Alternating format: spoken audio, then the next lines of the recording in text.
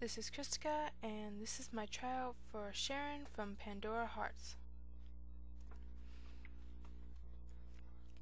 Ignore him, Mr. Reim. Just think of him as the air.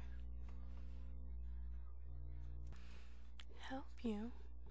If you have something to ask of me, then come to me on your knees, pig.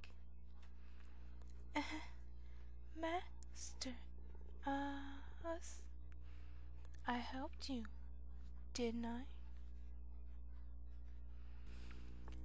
It would be nice if I could attend in my mother's place. However, I am afraid that I have yet to turn fifteen.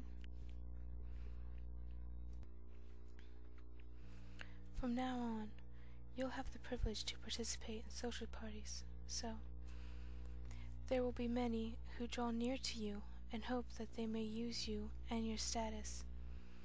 There will be those who seek great wealth, yet there will also be those who hope to share in the hidden power of the Duke's household.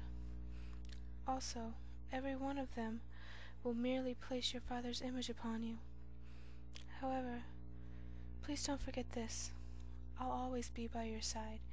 I will be someone who gives you support.